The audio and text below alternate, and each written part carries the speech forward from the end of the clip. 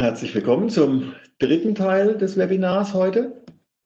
Diesmal wollen wir über die Massflow-Controller reden, die in Fermentation und ähnlichen Prozessen eingesetzt werden.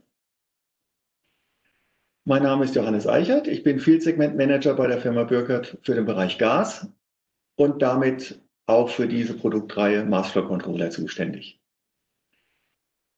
Was haben Massflow Controller mit Fermentation zu tun? Jede Labor an, oder Pilot- oder Produktionsanlage in diesem Bereich enthält diverse Komponenten, um die Flüssigkeiten zu regeln, aber immer auch eine Gasregelung, eine Gaseinspeisung. Und die Gasmenge, die eingespeist wird, muss geregelt werden. Deswegen hängt das miteinander zusammen. Man produziert hier eine Form von künstlicher Atmosphäre oder optimaler Atmosphäre, die entsprechend für die entsprechenden Bioorganismen, die dann über der Flüssigkeit sein kann und genau auch in die Flüssigkeit eingeblasen, eingeblubbert wird. Was ist jetzt das Besondere an so einer Gasregelung? Was brauche ich da? Zunächst mal, ich habe irgendeine Form von Gasversorgung. Man synthetisiert eine Art Atmosphäre. Das heißt, ich habe die typischen Luftgase, Stickstoff, Sauerstoff dabei. Häufig nimmt man auch Luft mit in dem Zusammenhang als Ausgangspunkt. Und wenn die Mikroorganismen das entsprechend benötigen, kommt auch CO2 dazu. Das heißt, ich brauche auch immer irgendwo eine Gasregelung, weil ich brauche natürlich die, die richtigen Mengen. Wie viel ich brauche, hängt meist von der Behältergröße ab. Was ich brauche, in welchen Verhältnissen zueinander, das hängt vom Prozess ab, den ich betreiben will und von den beteiligten Mikroorganismen. Habe ich Batch-Prozesse, kommt noch erschwerend hinzu, dass ich zu Beginn des Prozesses in der Regel relativ einfache Kleinmengen habe, brauche ich eine geringe Anzahl Mikroorganismen. Gegen Ende des Prozesses ist diese Anzahl deutlich höher, sodass ich dann entsprechend mehr Gas habe, weil die kleinen Gärchen mehr Gas verbrauchen. Ansonsten stellen die hier eigentlich die gleichen Anforderungen wie auch den Rest, an den Rest der Anlage. Das heißt, um hier keine unnötigen Kontaminationen oder Beschädigungen des Prozesses reinzubringen, hätte ich gerne Komponenten auch in der Gasregelung, die konform zu FDA oder USP Classics oder EG 1935 sind, einfach um den Prozess sicher durchführen zu können. Ansonsten ist jetzt aus Sicht der Regelung das eine relativ einfache Geschichte. Ich habe einen relativ langsamen Prozess, was ich dann aber brauche, ist eine gute Stabilität der Regelung, gerade weil der, so, solche Prozesse Stunden, Tage dauern können. Und da es wiederholbar sein soll, brauche ich natürlich auch entsprechend eine hohe Reproduzierbarkeit, um einen vorhandenen, erprobten Prozess sicher wiederholen zu können. Was ist jetzt die besondere Schwierigkeit mit Gasen, was die Regelungsseite betrifft? Das Problem mit Gas ist, dass sein Volumen nicht sauber definiert ist.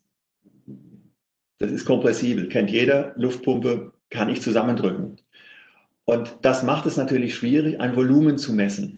Zumal jetzt hier in so einem Prozess auch die Frage ist, was, ist, was brauche ich jetzt eigentlich? Brauche ich eine Anzahl Moleküle? Da gibt es also eine Gasmasse oder brauche ich ein Gasvolumen? Technisch werden diese Begriffe häufig gemischt. Man spricht von, sowohl von einem Volumenfluss als auch von einem Massenfluss. Meint am Ende die gleiche, in Anführungsstrichen, Menge. Nur um die Unterschiede jetzt mal bei den Volumina kurz zu verdeutlichen, so ein Liter bei 6 Bar habe und expandiere den nach der Regelung auf niedrigeres Druckniveau, dann steigt das Volumen deutlich an. Habe ich es dann im Fermenter vielleicht auf noch etwas weniger Druck mit noch Temperaturen, habe ich aus einem Liter auf einmal fast sieben Liter gemacht. Das heißt, wenn ich das Ganze als Volumenfluss betrachten will, muss ich irgendwelche Hilfsgrößen mit ranziehen und das ist in dem Fall Druck und Temperatur. Die muss ich mit kennen. In dem Moment, ist ja anschaulich klar, in dem Moment, wo ich Gas zusammenschiebe, steigt der Druck. Und die Temperatur hat dann auch ähnliche Einflüsse. Netterweise erlaubt uns die Physik hier, das relativ einfach in Zusammenhang zu setzen. Es gibt einfach eine allgemeine Gasgleichung, die sagt, Volumen mal Druck geteilt durch die Temperatur ist eine Konstante. Das heißt, ändert sich der Druck, ändert sich das Volumen und oder die Temperatur. Das heißt aber für uns natürlich in der Praxis, wenn wir Volumenströme vergleichen wollen, brauchen wir für die Volumenströme eine Referenz. Wir müssen den Volumenstrom, können wir nicht nur sagen, das sind so und so viele Liter pro, Liter pro Minute, sondern ich muss sagen, bei welcher Temperatur und bei welchem Druck oder ich muss es wissen. Um das Ganze zu vereinfachen, haben sich da Standards gebildet. Und dann findet man bei solchen Angaben in der Regel immer etwas wie Normliter oder Standardliter. Und es bezieht sich dann bei den üblichen Standards immer auf Atmosphärendruck, also 1013 Millibar. Und bei den Temperaturen gibt es verschiedene. Das macht es etwas kompliziert. Ich kann sowohl Bezüge auf 0 als auch auf 20 Grad finden im industriellen Umfeld. Äh, muss man genau auch hinschauen, auf welchen Wert, Referenzwert sich da Angaben beziehen, denn mische ich jetzt zum Beispiel Geräte, die unterschiedlich kalibriert sind, die einen auf Norm, die anderen auf Standard, liegen dazwischen über 7 Prozent. Dann sucht man ganz schnell einen Fehler, der nicht da ist. Wie messe ich jetzt so einen Gasvolumenstrom oder Gasmassenstrom? Wie mache ich das jetzt? Denn wenn ich es regeln will, muss ich es ja zunächst mal messen. Jeder kennt sicher eine Gasuhr, empfindet die vielleicht auch als sehr genaues Verfahren. Immerhin bezahlt man seine Gasrechnung danach, also muss das Ganze eichfähig sein. Aber so eine Gasuhr funktioniert wunderbar bei dem bekannten Druck in der Erdgasleitung und der bekannten Temperatur, mit dem das Gas aus dem Boden kommt. Im industriellen Umfeld ist es sehr viel mehr Aufwand. Man müsste dann Druck und Temperatur mitmessen und die Mechanik auch entsprechend auf die höheren Drücke anbauen. Gibt es, ist aber dann relativ aufwendig. Aber ansonsten ist eine Gasuhr nicht geeignet. Schwebekörperdurchflussmesser hat sicher jeder auch schon gesehen. Gibt es für Flüssigkeiten, gibt es für Gase. Bei Gasen habe ich auch hier wieder das Problem, ich bin sehr stark druck- und temperaturabhängig. Spielt bei Flüssigkeiten keine so eine Rolle, da hängt es eher an der Viskosität. Ist also jetzt für eine Messung auch nicht so gut geeignet, aber ist natürlich ein schönes optisches Anzeigegerät. Eigentlich wollen wir ja eine Masse messen, regeln. Das heißt, auch massemessende Verfahren liegen jetzt hier nahe. Das ist zum Beispiel dann das sogenannte Coriolis-Prinzip oder Coriolis-Verfahren. Es ist technisch relativ aufwendig, aber es ist ein genaues Verfahren und es misst tatsächlich wirklich eine Masse und nichts anderes. Problem jetzt hier ist, dass wir, wenn wir über kleine Gasmengen reden und damit auch über kleine Gasmassen, einfach diese Verfahren da an die Grenze stoßen. So kleine Massen kann ich damit nicht messen. Wird aber durchaus bei großen Gasmassen benutzt. Wenn ich jetzt in so große Erdgasleitungen reingehe, findet man das. Ein anderes einfaches Verfahren sind die Turbinenflügelräder. Ein Gasstrom dreht ein Turbinenrad, aber ich habe die ähnlichen Probleme wie beim Schwebekörper. Gute, ein bisschen optische Erkennbarkeit, aber eine starke Abhängigkeit von Druck und Temperatur des Gases. Besser funktioniert es da schon, wenn ich den Gasstrom über eine Blende abfallen lasse. Dann kommt ein Druckabfall. Dieser Druckabfall ist abhängig von der Größe der Blende und vom Gasstrom. Die Abhängigkeit von der Viskosität spielt bei Gasen keine große Rolle, aber ich sehe natürlich trotzdem noch Druck und Temperatur des Gases. Das kann ich aber, wenn ich sowieso eine Druckmessung mache, äh, mit erledigen und dann zusätzlich noch Temperatur des Gases erfassen und kann damit recht gut über einen relativ weiten Bereich auch eine Durchflussmessung machen.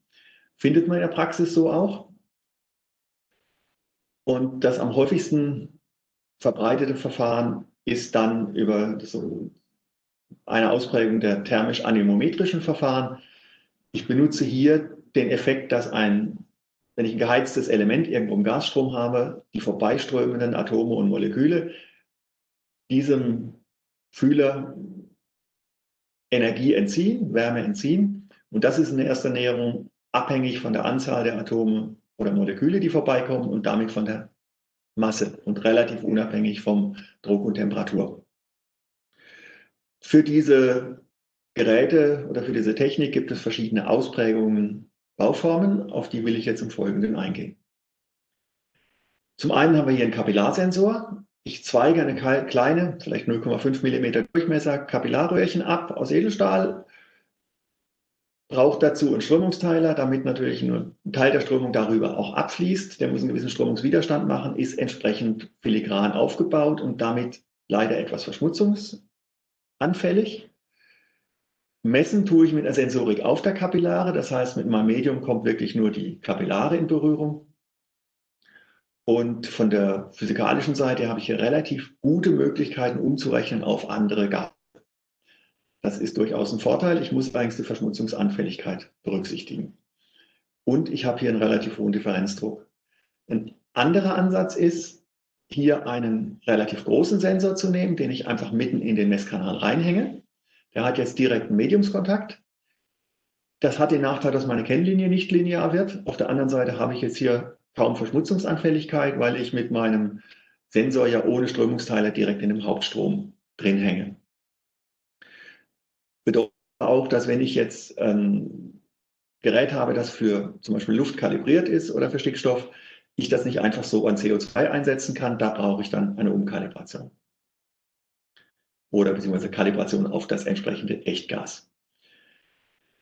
Ähnlich sieht das aus, wenn ich jetzt hingehe und sage, ich nehme einen, eine Bypassleitung, setze in diese Bypassleitung, auch natürlich mit einem Strömungsteiler verbunden, wieder eine, einen Sensor direkt innen rein. Der Bypass wird größer gewählt. Der Sensor ist kleiner als jetzt im Fall des Hauptstroms. Damit komme ich dann an deutlich kleinere Mengen ran, weil ich hier in so einem Nebenkanal vielleicht einen halben Liter pro Minute noch durchschicke. Hier vereinige ich so ein bisschen die Vor- und Nachteile von beiden Systemen. Ich habe nach wie vor die hohe Messgenauigkeit. Ich kann sehr weit runter messen, muss aber trotzdem noch auf eine Echtgaskalibration eingehen egal welches Verfahren Sie jetzt praktisch einsetzen, äh, wir können es benutzen, um jetzt in einem Massenflussregler hier erstmal den Durchfluss zu messen. Darüber setzen wir dann einen Regler und danach brauchen wir ein Stellglied, über das wir dann jetzt gleich reden. Und neben dem Stellglied muss ich dann noch darüber mir Gedanken machen, wie binde ich das jetzt in meine Anlage ein, wie sieht die Automatisierungstechnik, die, die äh, der Kontakt zur Kombina Automatisierungstechnik aus. was habe ich jetzt beim Schaltventil und was habe ich beim Proportionalventil? Wenn man ein Absperrventil nimmt, ist es so, in dem Moment, wo der Strom hoch, die Magnetkraft und damit der Strom durch die Spule hoch genug ist, dass sich der Kern bewegt, verringert sich der Luftspalt, damit nimmt die Kraft automatisch zu und dann schnalzt das Ding um und ist geschlossen. Ist die Kraft hoch genug, um den Kern zu bewegen, bleibt es offen. Wenn ich jetzt regeln will, muss ich stabile Zwischenzustände haben und dazu kann man ein solches Absperrventil umbauen, konstruieren. Ich muss, muss jetzt die Geometrien des Luftspaltes entscheidend verändern. Und dann kann ich es erreichen, dass ich Kennlinien bekomme, die stabile Zwischenzustände erlauben. Sieht jetzt auf dem Bild kompliziert aus, kann man auch eine Viertelstunde drüber reden, um das in der Tiefe zu verstehen. Wichtig ist nur, jetzt in der Praxis heißt das, ich habe jetzt hier mein Ventil, die Feder, ich habe eine Feder, die wirkt schließend. Ich habe eine Magnetkraft, die wirkt öffnend. Dazu kommt noch, weil ich es unter Sitz anströme, der Mediumsdruck, der gegen den Kern schiebt. Und es gibt für jede Stellung des Kerns einen stabilen Zustand aus diesen drei Kräften. Das heißt, ich kann über die Magnetkraft sehr gut beeinflussen, welche Kernstellung ich annehme und welchen Durchfluss ich bekomme. Wir hatten eben noch kurz über das Absperrventil gesprochen. Im der realen Anlage brauche ich häufig auch dann noch irgendwo die Möglichkeit, die Gasleitung abzusperren. Kann ich das jetzt mit so einem Ventil machen? Eigentlich ja, denn auch hier habe ich wiederum, ich habe meine Federkraft, die ist im Vergleich zu normalen Absperrventilen deutlich stärker, bedingt durch den, die etwas andere innere Konstruktion. Ich habe dann nur noch meine Mediumskraft, die dagegen drückt und solange der Mediumsdruck nicht höher wird als die Federkraft, ist dieses Ventil geschlossen. Das heißt, bei relativ geringen Mediumsdrücken ist sogar im Vergleich zu normalen Absperrventilen die Federkraft deutlich höher. Das heißt, die sind eigentlich sogar fester geschlossen. In der Praxis heißt das, wenn Sie nicht aus Sicherheitsgründen, als ich dieses Ventil ja durch zu hohen Mediumsdruck öffnen könnte, eine sicherheitsgerichtete Absperrung brauchen oder eine doppelte Absperrung, kann man das Proportionalventil durchaus als ein Absperrorgan auch betrachten. Jetzt haben wir uns eine Weile über die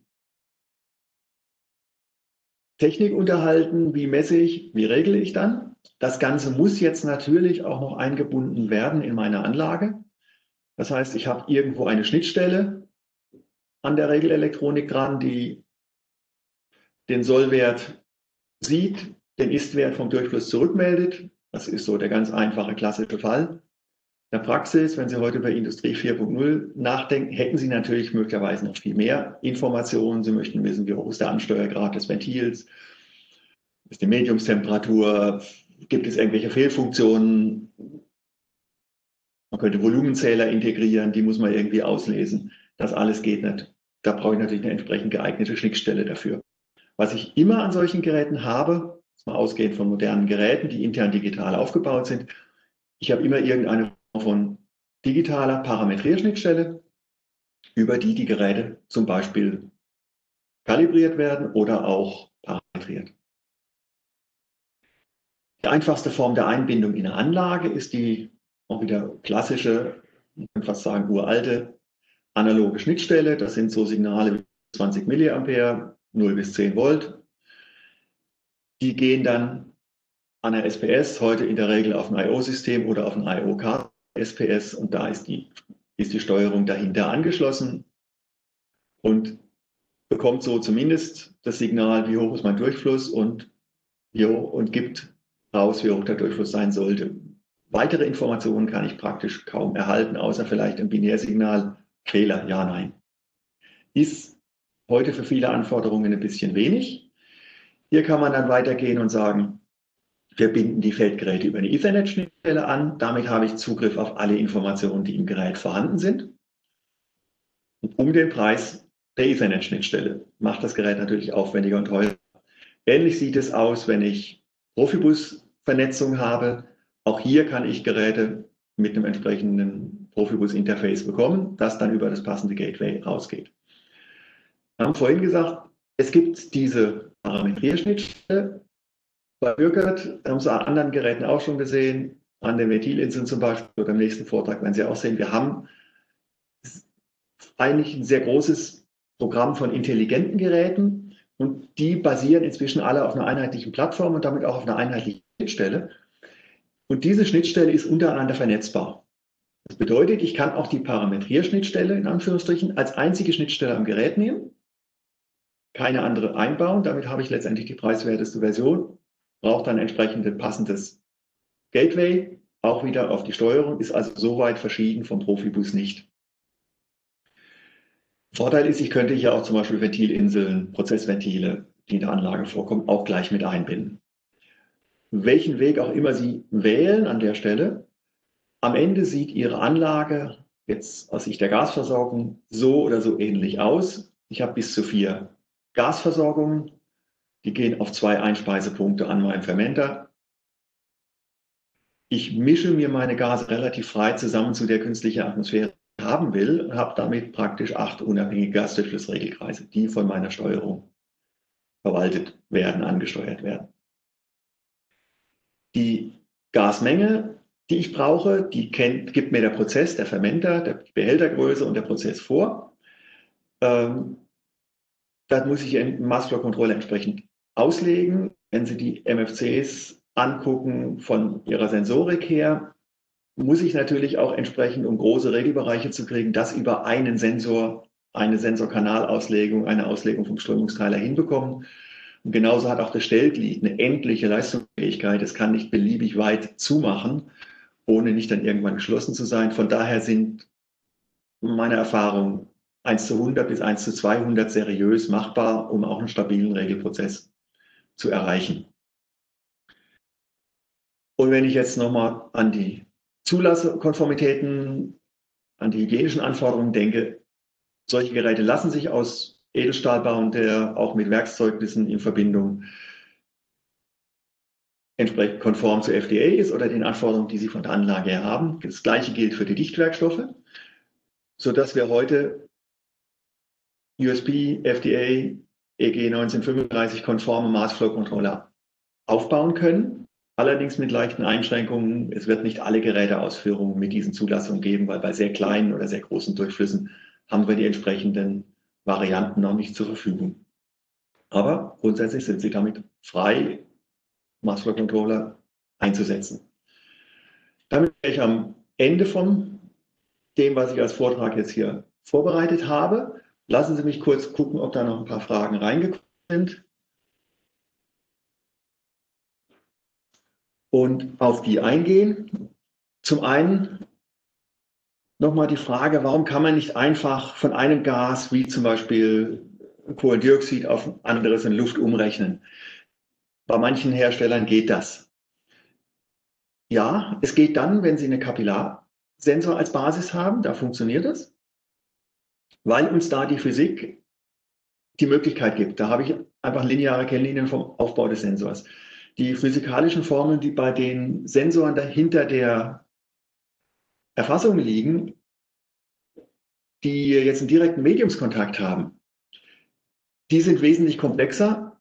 Und ich habe auch das Problem, dass dann ich jetzt nicht nur einen Faktor brauche, sondern ich kriege unter Umständen auch eine Nullpunktsverschiebung. Gerade bei den relativ großen Gehäusen, wenn Sie jetzt hier einen makroskopischen Sensor drin haben, haben Sie, entsteht eine Eigenkonvektion, die dazu führt, dass auch im Stillstand der Sensor ein gewisses Signal sieht, eine gewisse Strömung sieht, weil er ist ja eine Wärmequelle im gesamten Innenvolumen.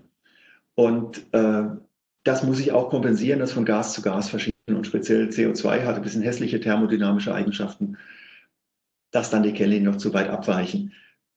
Netterweise funktioniert Sauerstoff, Stickstoff sehr ähnlich zueinander, sodass also die drei Hauptgase sich aus einer Kalibration ableiten. Dann die Frage, warum kann man nicht ab Null regeln? Ich habe es versucht eben schon ein bisschen anzusprechen. Ähm, zum einen, jetzt, egal ob man jetzt einen Hauptkanal hat oder eine Kapillare mit einem, mit einem Kanal oder dem Bypass, es ist ausgelegt auf eine gewisse maximale Strömungsgeschwindigkeit und das orientiert sich daran, was ich an maximalem Durchfluss haben will. Die Strömungsgeschwindigkeit bei minimalem Durchfluss ist natürlich dann entsprechend ein Faktor 100, ein Faktor 200 kleiner und wird langsam so klein, dass ich in einen Bereich komme, wo das Signal wesentlich zu langsam kommt oder auch das Sensorrauschen eine Rolle spielt. Dazu kommen, wenn man jetzt größer ausgedehnte Anlagen betrachtet, noch Effekte, dass in dem Moment, wo ich die Gastemperatur ändere, verschieben sich dann auch schon wieder Strömungen, was bei der Kalibration schwierig wird. Also es wird im Detail sehr kompliziert und vor allem es wird sehr ungenau. Wenn Sie Fehlerbetrachtungen machen, stellen Sie dann fest, dass Sie im unteren Bereich durchaus im Bereich zweistellige Prozentzahlen für die Fehlerangaben kommen. Und dann macht es irgendwann keinen Sinn mehr, wenn das Ganze nur noch ein Schätzer heißen wird.